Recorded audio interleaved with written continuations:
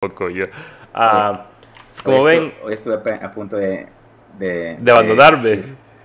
De, abandonar el barco. Ah, el tema de hoy, como lo pueden ver en el título, es básicamente hablar de algunos plugins que usamos tanto mi persona como Andrés y cosas que pueden ser, para ser muy interesantes para ustedes que programan, que desarrollan. Algunas cosas que son populares, puedo decir. Las de Andrés son un poquito más comunes, aunque sea unos dos, creo yo. Y algunas cosas Pues que son... que yo me uso. Sí, y algunas cosas que son mías son súper raras que cuando alguien me pregunta, hey, mira esta página que está chido, está yo digo, esto huele a WordPress. Y él dice, ¿cómo sabes? Ah, que yo estoy acostumbrado y te enseño, ahí a ver el programa ahí. Pero antes de empezar, la primera cosa que quiero comentar con ustedes que sería bueno que todos hagamos, y también tú Andrés, tenés Facebook, bueno, todos tenemos Facebook, por, por el trabajo más que Ajá. todo. Ah, hay un sitio web llamado, ya les pegué a través de YouTube, recomiendo que vayan, pongan su correo, como lo voy a hacer yo, y verifiquen si no ha sido su información filtrada con el último ataque de Facebook que fue hace poquito. No poner aquí Chepe Carlos, de blog, control G, le doy enter y me dice que ha sido filtrada mi información. Obviamente yo sabía que ha sido filtrada múltiples veces a esta altura del partido, pero ¿cuál fue la última? La mía última vez que fue filtrada fue en el 2017. Aquí aparece el ataque. Si su ah, información ha sido filtrada hace poco, sería muy buena idea. Recomendación, ¿verdad? Cambiar contraseñas, porque ah, Facebook fue filtrado. am, nombres de En usuarios. 2009. En el 2009 fue la En última tuya. 2009, sí, sí. No, no, me refiero que eh, ahí como que la mayoría de los datos fue de esa, esa época. No, los míos. Cuando fue filtrada Mm. mi información, esta es información mía. Ni que t- en estos lugares mi data ha sido filtrada. Pone tu correo ahí, Andrés, y vamos a poder ver cuándo ha sido filtrada. Sí ha sido filtrada y no ha sido filtrada, así. Tranquilo, aún no ha sido comprometida, no en una base de datos. ¿Y tú cómo, y cuando te filtraron a ti, cómo lo supiste? Ah, porque me atacaron. Ah, Tuve un problema con ok. Facebook en el 2017, justo ahí la fecha dice, en el cual ah, pusieron publicidad falsa en mi página y usaron mi tarjeta de crédito, porque yo, yo hacía marketing. La cosa es que hace poco hubo un ataque, pero que todos ustedes aquí, antes de empezar, recomiendo que vayan a la página, pongan sus correos, sus teléfonos que tengan, que usen con redes sociales y vean si no han sido atacados. Y si han sido atacados o han tenido algún inconveniente, ah, sería buena idea cambiar su contraseña. Lo triste también que se filtraron también números de teléfono, porque ah, eso va a, ser un, va a ser un problema cambiarlo si fue si su número está sido Sí. filtrado, porque tienen su nombre. Que no, que soy filtrado. Yeah, felicidades Andrés, qué bueno que no, no estás en la lista de, de los que han sido atacados. Ah, un montón de personas han dicho que ha sido filtrada, ha, ha sido grande la filtración, la última, ¿verdad? Y me ha Sí. parecido bueno también, bueno, empecemos la, el noticiero con eso. Vamos a ir a una parte más alegre. Ah, como siempre, me olvida a mí. eh, en el chat pueden poner, espérate, tengo el, el, el, el sistema viejo acá. Pueden poner comentarios para manejar el, fondo que tenemos aquí atrás. Pueden poner color rojo, color azul. Ahí les pego a través del chat si quieren ver cuáles son los comandos que están disponibles para que ustedes lo puedan hacer. Debería dejar esos comandos allá abajo en, el, en la descripción a que lo medito. Sí, eso voy a hacer. Debería dejar, voy a agregarlo al generador automático de descripciones. Otra cosa más que tengo que poner más. Aquí sí digo nunca voy a terminar. Siguiente noticia que traigo para ustedes. Como digo, vamos a tomar hoy en cuenta add-ons o plugins que son muy interesantes. El primero que quiero compartir con ustedes se llama Wapanizer. No estoy seguro si lo digo bien correctamente. Es- todos los plugins que vamos a hablar hoy están para Mozilla Chrome, excepto que lo mencioné. Creo que solo uno de Andrés es que es solamente exclusivo para Chrome. De ahí los demás están disponibles para todos. ¿Qué hace Wapanizer?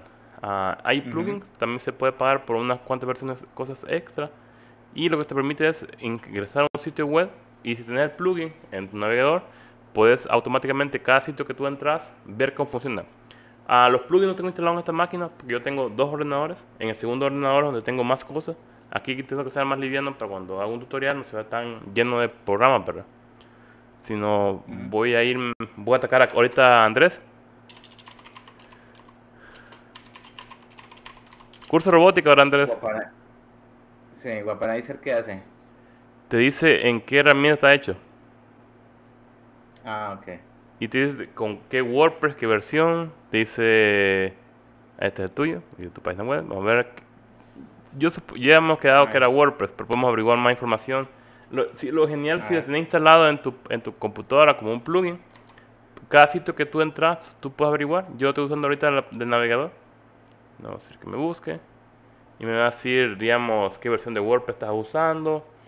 Aquí dice que tenés WooCommerce, tenés jQuery, tenés React, usas la API de Twitter, usas Google Phone, usas Apache, tenés WordPress, obviamente hemos dicho, usas Facebook, Google Ads, a la minga, usas Elementor y Jessin OS, no sabía que también usabas este para optimización, Gravanar, obviamente, Google Analytics, tienes el Pixel, PHP, y también tienes el reproductor de YouTube también ahí a bordo. Y así cuando Sí. tú entras a un sitio web y tú crees, hey, esa página está bien chida, me gusta un montón y me gustaría cómo lo hacen.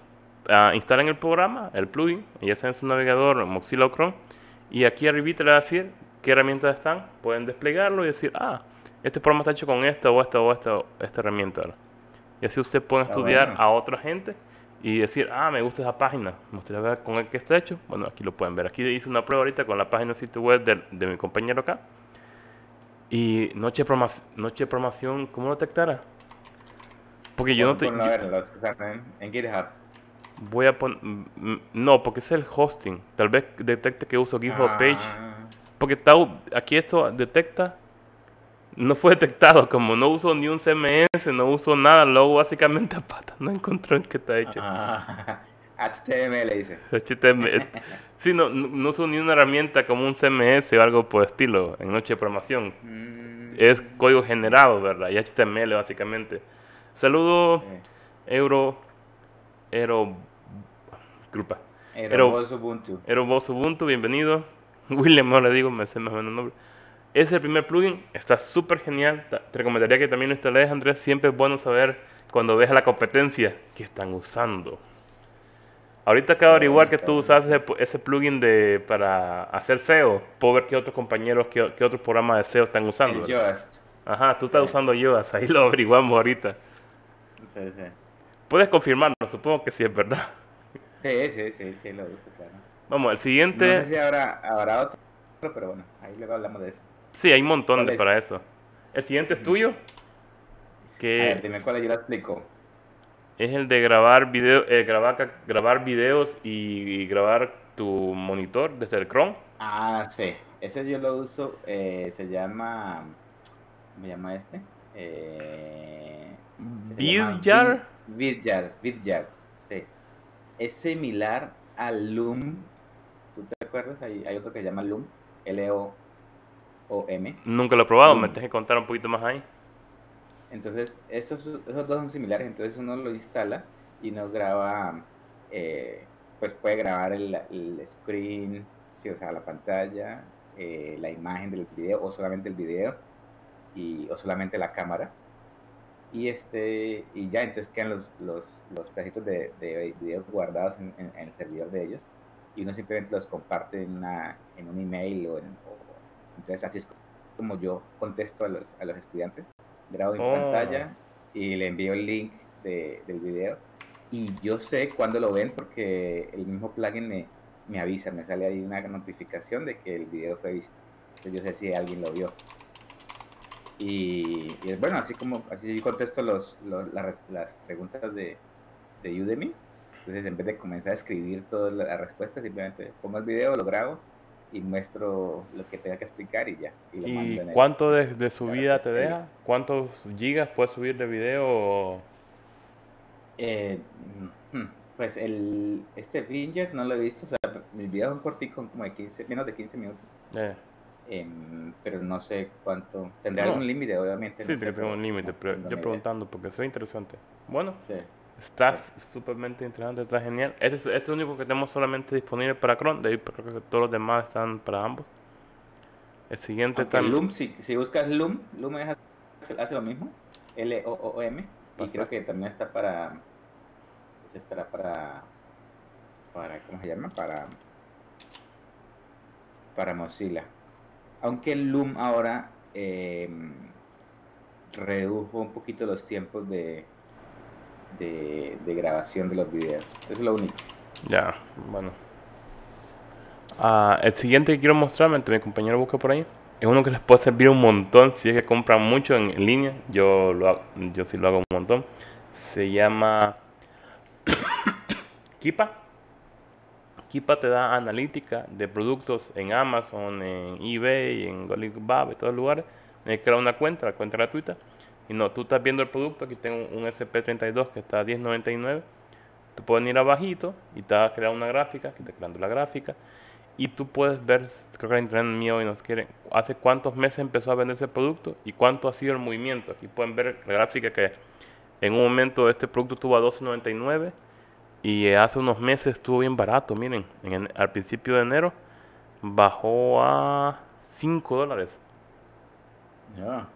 Ah, oh, por, amor a Dios, gracias Eurobuntu por mandar 50 pesos mexicanos de antemano, gracias. Espero que la notificación esté activada. Dime que sí están.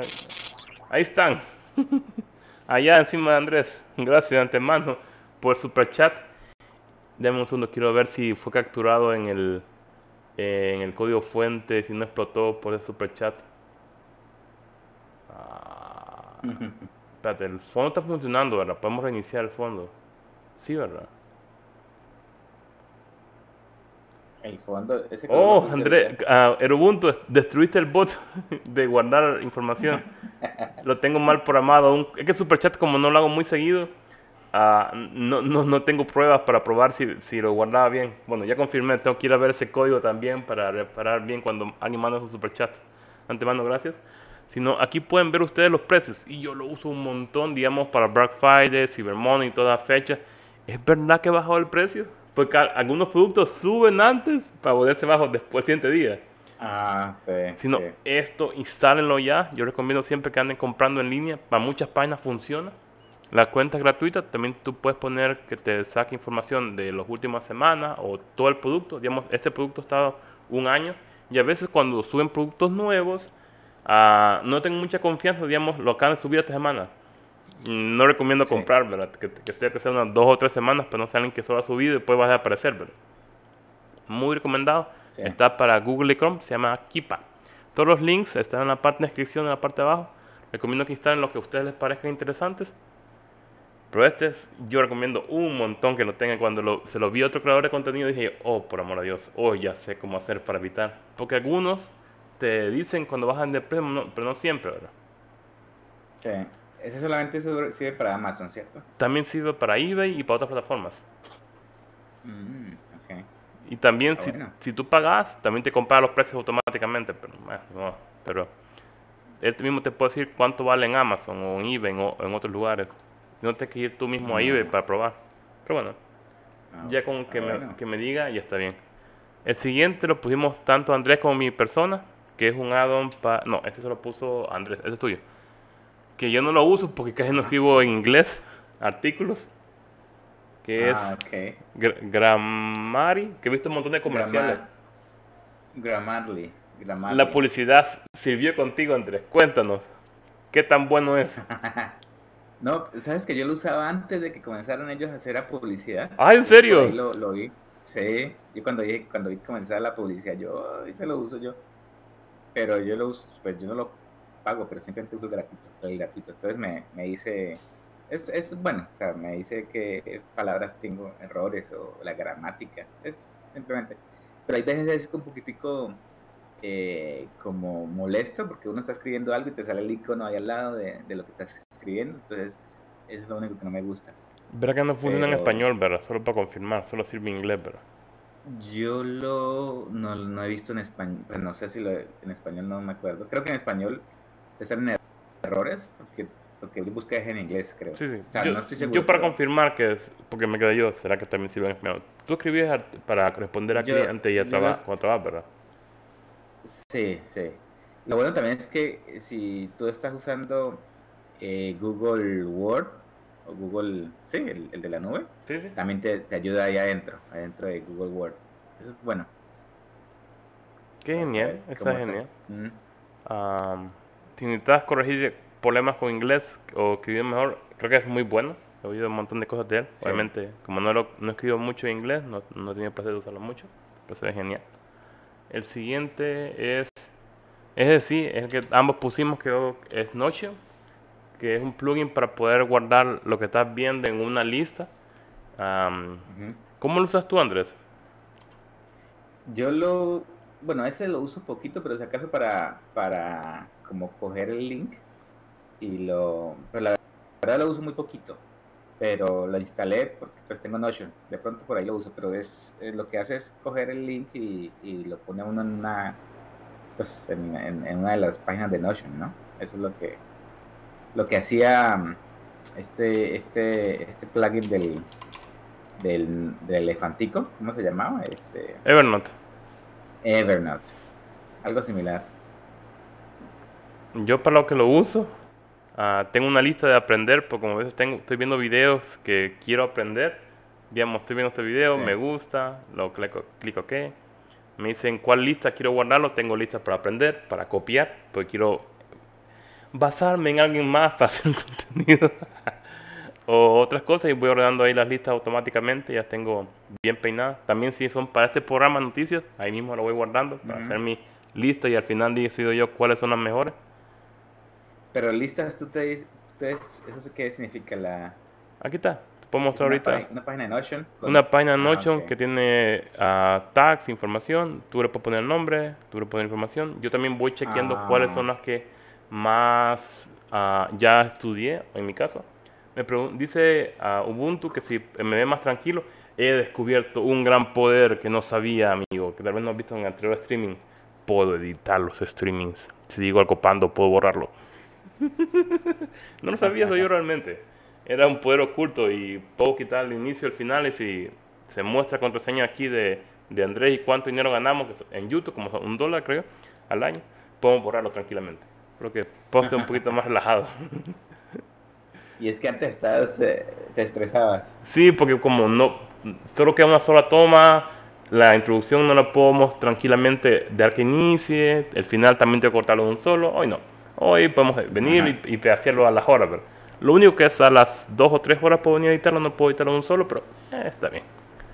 Ese recomiendo mucho que lo instalen, a mí me encanta para ir volando las listas, porque hay tantas cosas que uno quiere aprender y es bueno organizarse para ir aprendiendo. Yo tengo que he agregado unos de de cómo hacer ads para YouTube y para Google. Y también tengo uno de cómo calcular RTC. ¿Y qué más tengo? Ah, uno de ROS. Uy, ese me encantaría. Ya también tengo que ver si lo pongo en mi lista. El siguiente es. Ah, este te lo puse yo, que me parece genial para cuando. A mí me gusta cuando veo algo y se ve cool, ver de dónde sale.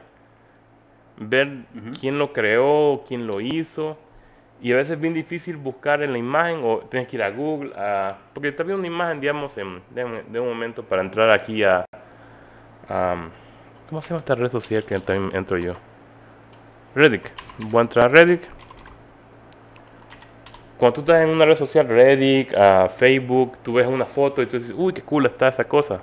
Me gustaría ver quién la hizo, por qué la hizo. Tú puedes usar este plugin que voy a mostrar ahorita para buscar en todos los buscadores de dónde sale esa imagen y tal vez averiguar quién es el creador, quién la usa o de dónde viene.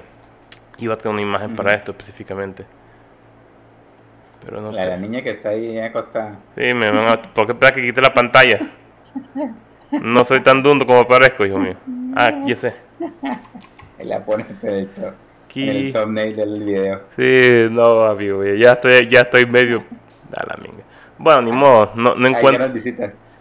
Ah, ni modo, no podré. No, recomiendo que instalen este plugin para eso. Le pueden dar clic secundario a cualquier imagen y automáticamente se lo va a buscar en Google, en Bing y otros lugares para ver de dónde viene la fuente, quién es el creador de esa imagen y así poder averiguar. Digamos, cuando veo proyectos de Arduino y la gente pone una imagen bien cool y digo, sé que no es de ellos el proyecto, pero me gustaría averiguar quién lo hizo para ir a ver si hay un ah, tutorial. Esa, está buena. esa ah, idea está buena. Para eso lo uso más que todo, porque yo quiero, veo un arte, digamos, veo una impresión 3D y solo la publica alguien más, la republica. Pero no pone la fuente, no pone quién la hizo, no pone los diagramas y yo con la cara de, ¿para qué me sirve? Está lindo, le doy like y qué.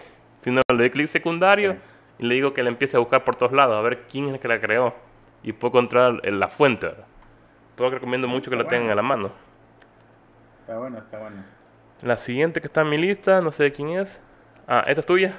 El bloqueador, que bloquea todo aparentemente. Ah, bloqueador, sí, de anuncios. Orin bloque. de anuncios de, de página web y te sale ahí el numerito. Pero hay veces, em, cuando hay páginas que tienen como pop-ups y hay, que loguearse en algo, te bloquea. Oh, qué genial, eso no sabía yo. toca estar pendiente de eso, porque hay veces uno, está, uno se le olvida que lo tiene activado, entonces no le sale, entonces tiene que desactivarlo por un momento y hacer lo que tienes que hacer en la página web y luego lo desactivar. Lo que sí no, lo que sí no eh, bloquea son los los anuncios de, de Facebook, de Facebook, de, de YouTube en los videos. Solamente bloquea como las los anuncios en las páginas web. Yo encontré un plugin que bloquea esos anuncios, pero como no me conviene, no se lo pienso. Hay uno que bloquea incluso anuncios dentro de los videos. Digamos, tú haces un video de JLPCB, digamos, por si algo.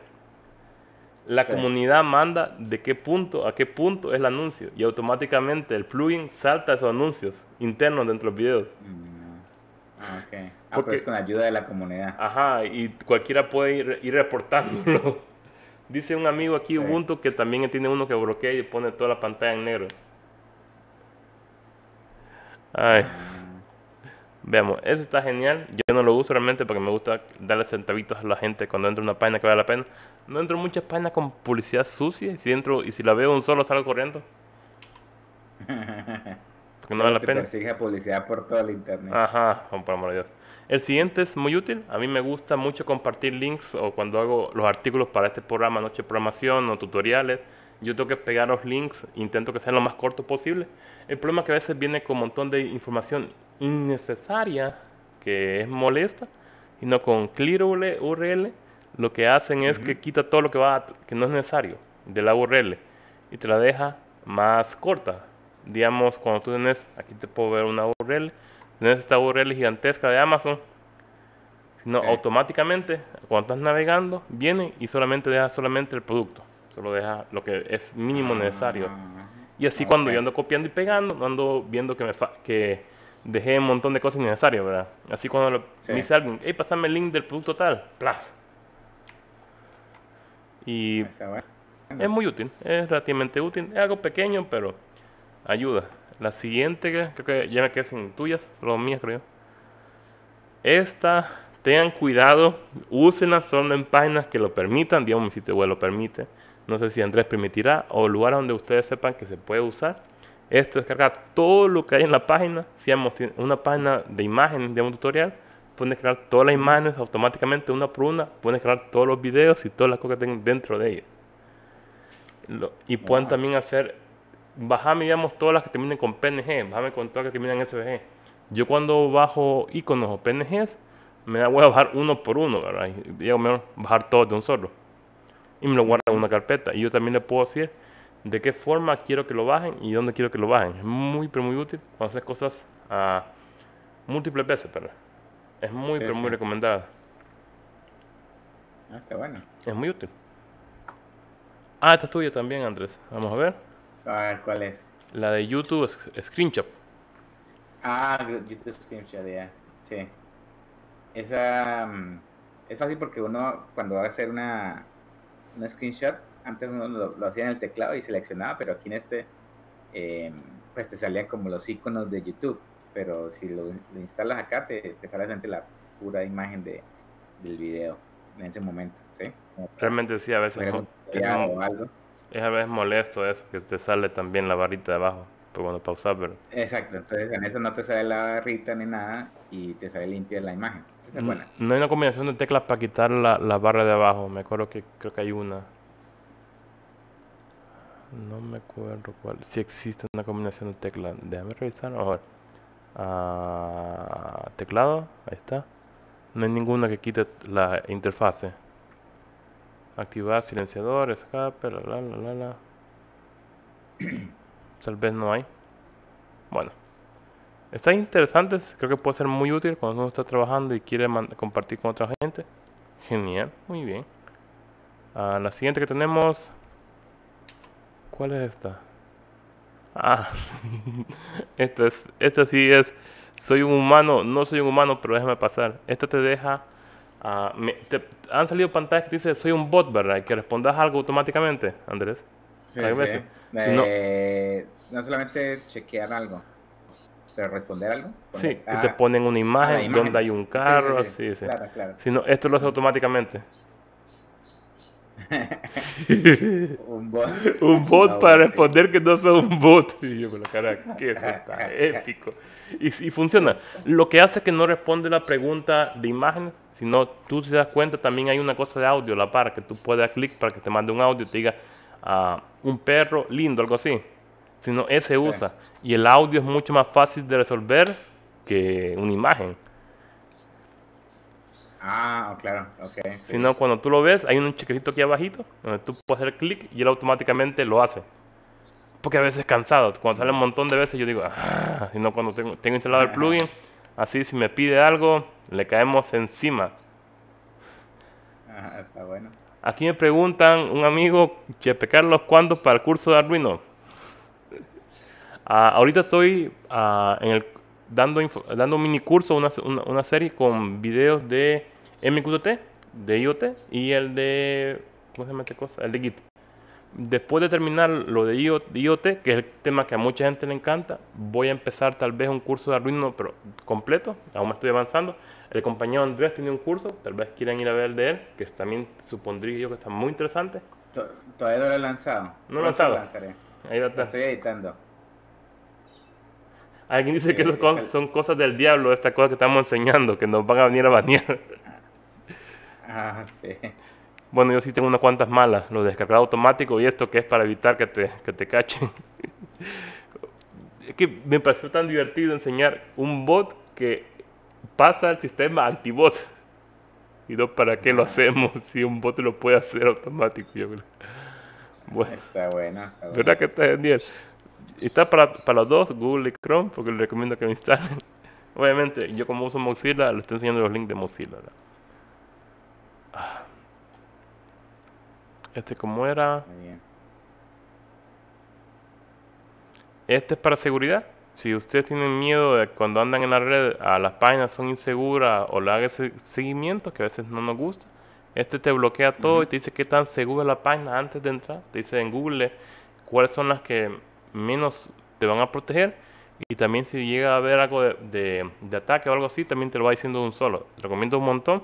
No bloquea la publicidad, solo te dice él qué cookies hay, dónde vienen las cookies y todas estas cosas que a veces puede ser Mm, relativamente molesto, porque uno dice, entró a esta página, qué información, a quién se la mandó, es muy, pero muy útil. Es algo pequeño, pero a mí me gusta tenerlo para estar vigilando, digamos, cuando entro a una página, de- a dónde me manda la información, ¿verdad? Sí, sí. Eh, con eso nos acabamos de los plugins que tenemos para este día, pero quise agregar dos cosas más para com- com- conversar aquí con Andrés, a ver qué le parece a estos bueno. El videos. bonus extra. Tengo unos videos que están épicos, amigos. Tengo dos que son súper interesantes. Me gustaría platicar contigo. Quiero ver cuál es el primero. Ah, ¿qué es? Ah, este es. ah, yo pues no veo el título, ya arriba ese título. Am, creo que hablamos de uno de estos videos hace unos meses, no me acuerdo si habl- hablé contigo o con alguien más. Ah, recomiendo que lo Ajá. vean. El video está en inglés, pero está súper interesante. El lenguaje C puro o C, no estoy seguro. Ah, cuando uno lanza un proyecto, aquí el juego que se llama Team Fortress 2, que es bien popular, similar a Overwatch o puede ser similar a algo a Fortnite, puedo decir, digamos parecido. Es un juego de shooter relativamente antiguo. Los programadores dejaron comentarios en el video.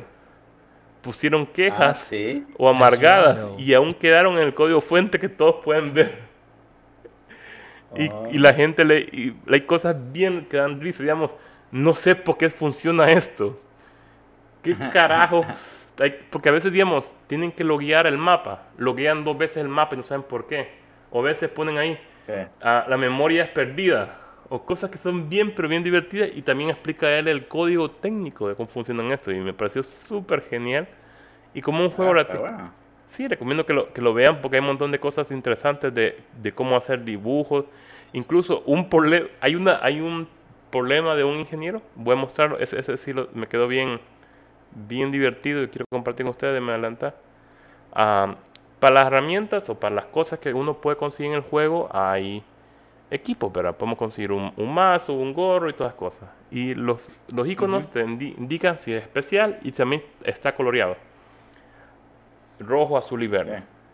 Ah, hubo que empezaron a agregar múltiples colores, que había no solo azul, sino verde y azul, amarillo y azul.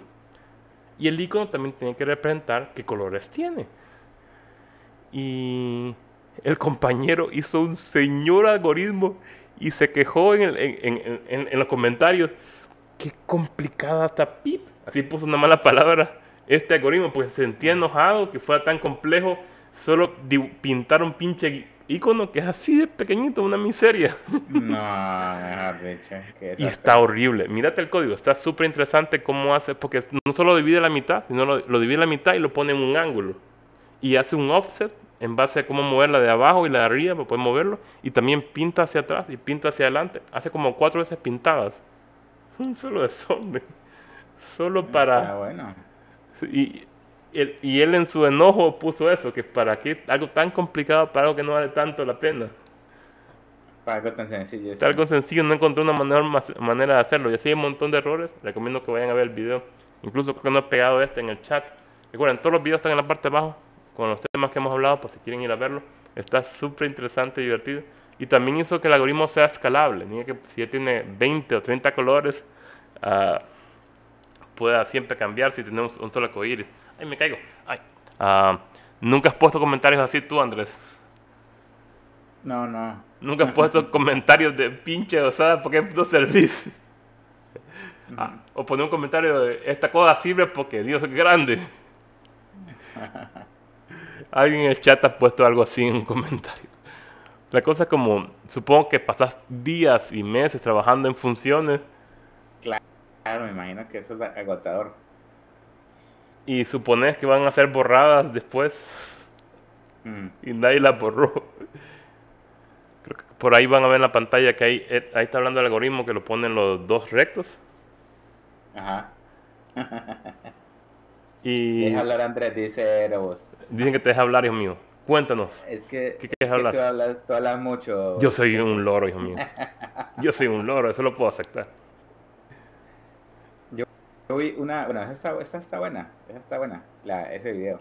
Y esos videos, eh, ese señor este programaban que en C, dices tú. Sí, este es un videojuego hecho en C++ y el, el, el el video... Yo para... Yo, creo que esos, esos programas de C++ deben tener como frameworks para ayudar a hacer esos videojuegos, ¿no? Porque yo creo que hacer a pata un videojuego en C es muy Esa pata. No. Es que la cosa es que si usas framework de alto nivel, uh, sacrificas facilidad de programación por eficiencia. Ya. Porque te toca intentar hacerlo más bajo nivel posible. Porque con más alto nivel te vayas, más abstracción, menos eficientes son los juegos. Te demorarás muchos años, muchos, muchos tiempos haciendo un video de esos, un, videojuego. Correcto, pero también toma en cuenta que muchos juegos tardan años en salir. Mm. No son meses, son años, como las películas, que digamos las programan para dos o tres años después que, que, que, las anuncian. Sí, sí. ¿Por qué? Y ahí va mostrando él cómo hace el desorden de código y yo con la cara, qué belleza. Ay, Dios mío. Y tengo uno más, creo que es el último que tengo en mi lista, pero está tan divertido. Ah, yo el día de ayer di una conferencia en una universidad por acá, que fue muy interesante. Necesitamos un botón para bloquear a Chepe. Me parece una muy buena idea, como lo borramos. Ahí lo voy a preparar. Ahí se, los preparo. eh, di una conferencia artificial y hablé de este video y también quiero hablar con ustedes. Bueno, la conferencia después la voy a subir los videos separados de las explicaciones que di, pero este me parece súper interesante. Ah, Han visto en mi, canal que tengo unas neuronas que voy entrenando yo para poder que aprendan este, misma, este mismo video, ¿verdad? No me digan que no, no subí el otro, no está... Denme un segundo, Andrés, te dejo hablar tranquilamente un minuto ahí mientras... No me digan que no lo puse.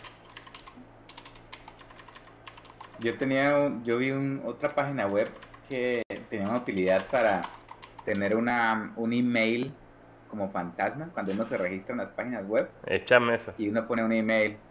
Tengo que buscarlo, no me acuerdo dónde, dónde, lo vi. Pero esa también fue interesante. Pues correos falsos. Sí, o sea, por ejemplo, cuando uno se inscribe en algo, tú sabes que uno se inscribe y tiene que eh, la, página le manda un email de, verificación, entonces tiene, eh, pues quedas ahí en la base de datos. Este uno coloca el, un email, lo genera y lo pone en la página web y ahí mismo en esa página llega el email de confirmación y uno le da un clic y ya activa lo, que tenga que activar. No lo buscas porque se muy interesante eso. Si lo tenés por ahí, otro, en, para, otra semana lo podemos ver también. Bueno, ya encontré aquí este canal que habíamos hablado anteriormente de él, que se llama Dos Minutos de Paper, que son documentos técnicos, ¿verdad? Sí. Lo interesante de este paper es que usted, como digo, digo un momento, en mi canal he visto neuronas que entrenamos para que aprendan, digamos, esto es un Arduino, esto es un SP, y le vamos añadiendo un montón de imágenes, ¿verdad? Y está súper genial. Y yo digo, bueno, que está chivo. En esa neurona también enseñan eso y también abstracciones, que se refiere a que tú les puedes enseñar que Spider-Man es el personaje de Spider-Man y también la palabra y el logo de Spider-Man. Está puede abstraer a nivel más alto aún que normalmente hacemos, que está genial. Y no, ella puede, le ponen, voy a poner aquí, voy a si puedo adelantar el video, le ponen una araña o le ponen Spider-Man y las dos la considera como Spider-Man. Puede reconocer eso lo que me pareció sumamente interesante y también quiero compartir con ustedes es esto. Si ustedes ven esta imagen, te voy a dar tiempo para que me digan, ¿ustedes qué, creen que es esto? Voy a hacer zoom acá. Pónganme el chat. También voy a esperar que Andrés lo pueda ver. Un carro de... ¿Eso qué será? Un, un carro de helados. Un carro de helados, dicen ahí. O el de... Un bus de un bus de qué? De escuela. Un bus de escuela, dicen por ahí en el chat que dicen. Voy a esperar que llegue. Bueno, si tú estás viendo, también No, tú estás viendo mi computadora por reflejo, ¿verdad? Voy a esperar que el chat llegue para ver qué dicen ellos que es eso. Y veamos qué dice la neurona que es. que es lo que me parece súper interesante que exista, que ya hayan empezado a hacer ese tipo de cosas. Bueno, creo que va a llegar ahí algo lento aún en el chat. Espero que la técnica no esté horrible. Esto es una pizza. ¿Cómo? La cosa que ya han empezado a crear imágenes antineurona. Ajá. Oh. Aquí va a aparecer un video, a la una imagen a la par. Esta, ima e, esta imagen tiene encima de ella este patrón que confunde la neurona. Sí. Y le hace creer otras cosas que no ah. están en la imagen. No, mejor. no es ruido, es una imagen específicamente creada para que la neurona crea, esto es un bus, pero cuando ve la imagen sobrepuesta, ella dice que es pizza o es otra cosa. Sino ya existen anti imágenes antineurona para poder engañar a inteligencia artificial. Y esto me parece sumamente interesante y un montón de implicaciones. Digamos, no podemos confiar en una neurona que va a ser perfecta para cosas bien específicas, pero Sí. Digamos, aquí él, él, pone, digamos, diferentes cosas. Una manzana, una computadora, una, un vasito. Como esa neurona hace dos cosas. No es una neurona normal. Esa neurona puede entender el, la imagen y también el concepto abstracto. Digamos, dice la palabra pizza, dice que es una pizza. Ve una cosa redonda, también dice que es una pizza. Si no, aquí le pone a la par las imágenes de lo mismo. Le pone le pones un, pedazo de tiro y, la, y confunde la neurona con el ataque, ¿verdad? Pone un, a la, enfrente de una pizza y pizza. En algunos no se equivoca, pero en otros tal vez. Y, no, y aquí te formas como para poder intentar atacar el aprendizaje que tiene la neurona. Y yo con la cara, oh, está interesante. Y este es un paper, obviamente, que ha sido estudiado por una universidad mm. y está empezando a ver cuáles son estas implicaciones. Digamos, este es un chihuahua, obviamente un perrito, ¿verdad? Pero es un chihuahua. Dice que está seguro que hay un chihuahua aquí en la imagen y aquí esta es una pizza. Obviamente la imagen tiene texto que la hace creer a la neurona que es otra cosa. Que es otra cosa, sí. Me parece interesante que vamos a empezar a tener peleas dentro de neuronas para engañar a las neuronas. Siento que vamos a llegar a una, un momento, vamos a sacar... Uh, tómale foto. Y, es interesante para reconocimiento facial, no podría como hackear algo, ¿no? O sea, o sea eh, bueno, algo, algo así se me, se me ocurre, ¿no? Mate, mancharte la, de seguridad. Mancharte la cabeza con unos ojos aquí arriba y te diga que son más altos lo que son. Ah. Y ya sé otra. encontré la página web Ah, te encontraste Encontré con la página web de la, de la, del email temporal. Dame esa cosa, poner, pasarlo en el chat y yo lo voy a pegar más tarde. Ah, voy a hacer que aparezca sí. en el. En el en la paz. en la temp, paz. temp, temp Si querés pegármelo en, en- en Discord. punto org. Bueno, ahí lo, lo, lo, Y yo, lo ahí y- yo la- ¿En cuál? ¿En el chat de YouTube? sí. No iba a tener permiso de poder Discord. compartirlo. El problema es que si lo pones en Bueno, YouTube no te- tienes permiso. Debería, Ah, debería darte permiso que lo meto. No, así, déjalo así. Ahí ya lo mandé por mi Discord. Bueno, ahí está. Voy a enseñar esto. Está interesante eso que mencionabas para tener correos, para cosas que son Sí. poco importantes. Si eso quieres algo rápido, porque necesitas y no creas tu información personal. Ajá. Si no solo lo creas, ¿tiene un costo o algo así, Andrés? No, no creo. Creo que es gratis. Es un correo en el tiempo real y ya, desaparece. Solamente para que te habiliten como para... Que cuando tú entras a una página te manda un email de confirmación, te llega ahí a esa página y Correcto. simplemente lo, lo chequeas o haces lo que tienes que hacer y ya. Qué genial. ¿Y para qué lo has usado? Para que sepas que ese conocimiento. No, pues para... No lo he usado, pero lo vi por ahí. Pareció interesante.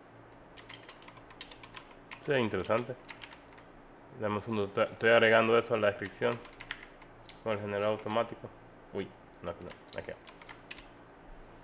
Ya, ya pueden refrescar la página y cuando quieran pueden ir ahí abajo y va a estar el link este. Ah, aquí me da un correo también si yo quiero hacer uno. Está interesante. Your inbox is waiting. Pues, Me parece muy bueno, puede servir muy útil para diferentes cosas. Sí. Bueno, pues amigos, ya nos acabó la cora, creo yo. De antemano, gracias a Ubuntu por el apoyo monetario que nos hizo. De manera, muchas gracias. Am, disculpen por estar un poquito lento con los videos, pero está un montón de cosas. Un montón. Pequeño anuncio aquí parroquial. Ya tengo un SP32 y 82 de los comuncitos. Porque yo solo tenía de Sparfone o de Adafruit, que tengo estos dos acá.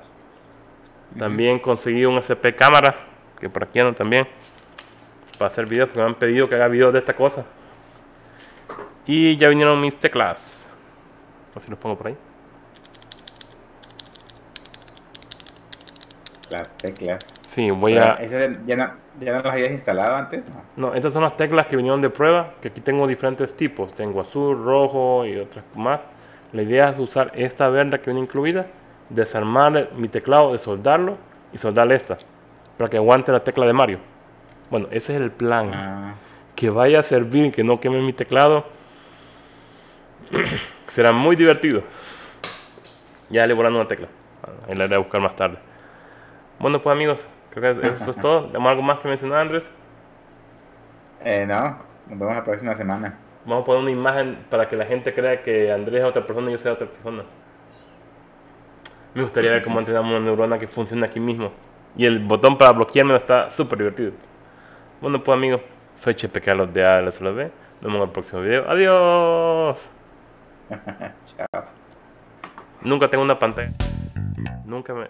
Tengo que dignarme en hacer una. No voy a hacer nada. Bueno, pues Andrés, te agradezco mucho. Nos vemos la próxima semana. Aún no tengo el tema, pero a mí me ocurrió.